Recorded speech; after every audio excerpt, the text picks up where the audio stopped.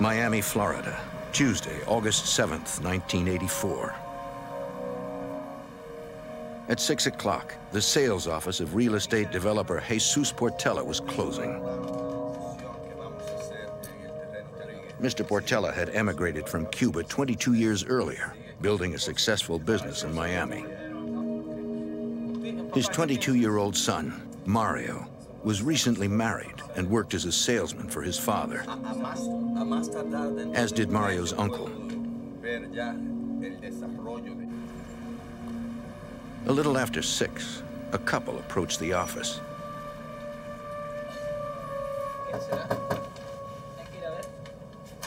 Mario and his uncle went out to talk with him.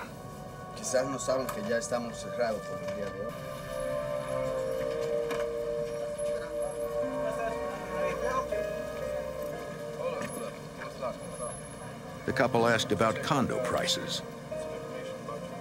The man seemed anxious as they spoke. The uncle explained that the office had closed. He asked them to return in the morning. At the couple's request, he went inside to get some brochures for them.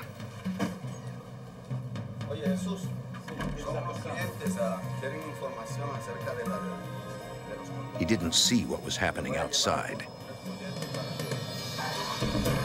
An armed man had pulled up, and the three were abducting Mario.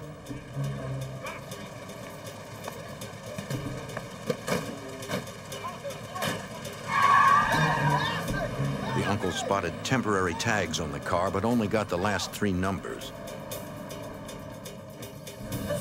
He told Jesus what he saw. Mario, forced into a blue and gray car, heading north on 122nd Avenue. Then he called the police. But Mario's father couldn't wait for the police to arrive. He went looking for his son.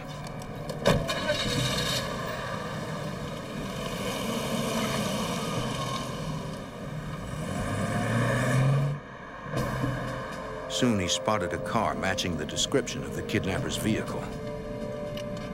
For years, he had carried a licensed gun for protection. Now, he was ready to use it.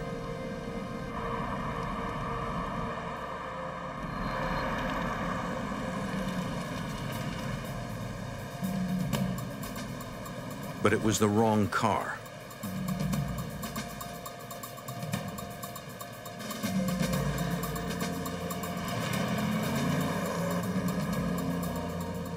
Realizing he couldn't find the kidnappers himself, Jesus returned to wait for the authorities.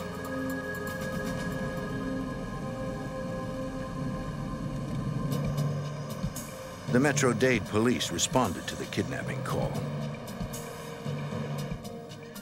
For Detective Alvaro Romero, abductions were not unusual in 1984.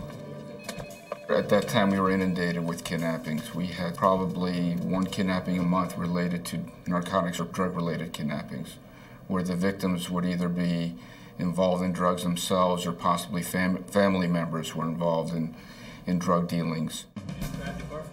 But detectives quickly realized Mario's abduction was different. Questioning Mr. Portela and, and, recognizing the fact that he was a prominent businessman in the community led us to believe that it was not narcotics related and strictly a financial gain for, for the people who kidnapped his son. It meant anybody who knew of Mr. Portela's wealth could be a suspect. Hoping the kidnappers left some trace behind, crime scene technicians dusted the door for fingerprints. Mario's uncle believed they might have touched it as they peered inside. No usable prints were found. Less than an hour after the kidnapping, the phone rang. Hello? See? Speaking in Spanish, the caller asked for Mario. Mr. Portela didn't recognize the voice. The caller then announced he was part of a terrorist group that was holding Mario for $3 million in ransom. Although no recording equipment was in place, a Spanish-speaking detective listening in identified the caller's accent as Colombian. The caller threatened to kill Mario if Jesus notified police and the FBI, and warned that the group was watching the Portela house and gave the address. The distraught father pleaded to speak with his son. Hello? The kidnapper announced he would call Jesus' home in three days. Hello? Police could not trace the call, but it helped them understand the type of criminal they were facing. We felt the kidnappers were very violent.